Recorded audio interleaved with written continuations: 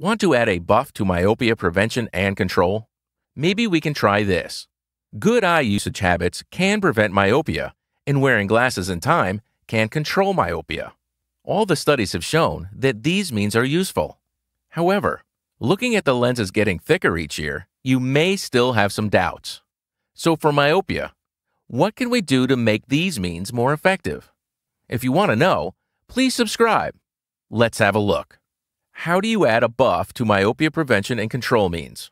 A number of studies show that most myopic people have weak accommodative strength, which in turn will speed up the progression of myopia. Thus, accommodative strength is the key internal factor to control myopia. Accommodative strength is to myopia what exercise is to weight loss by diet. Adjusting your diet will make you lose weight, but with exercise, you will lose weight more quickly.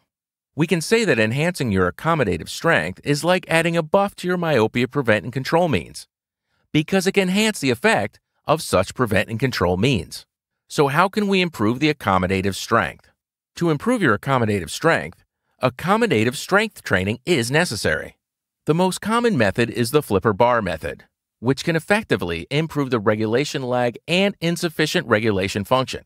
However, although the flipper method is effective, it is time consuming for each practice and requires long term persistence, which are its shortcomings. This depends on ourselves. Myopia prevention and control is a slow project. All we can do is perseverance. I've been popularizing scientific knowledge for 19 years. Subscribe to learn scientific methods for prevention and control of myopia.